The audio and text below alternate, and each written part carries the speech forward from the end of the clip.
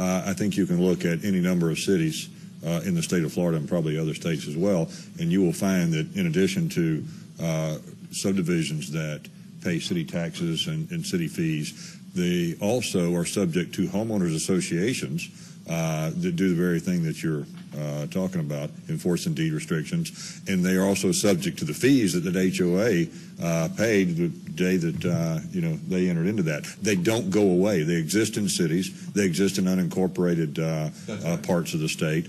And and you're right. I don't think there's any uh, assurance to any you know that anybody can give anyone that if you do this, the HOA goes away. In fact, I I think the question here though is you know what would the fee be? And, and nobody knows at this point.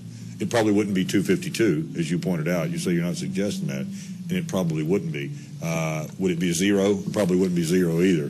The question is, what would it be? And I think that gets back to really Mr. Perez, and, and a lot of people have said this. It, you just got to have the facts. Uh, you know, what does this mean to the average homeowner?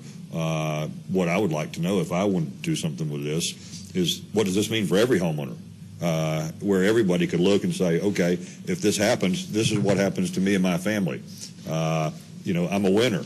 Uh, others would say, okay, if this happens, here's what happens to my family. Ooh, I'm a loser. But, you know, I'm gaining a higher level of service. But that's the kind of information that people need in order to make a decision. And I That's agree right. with And others. does- Doesn't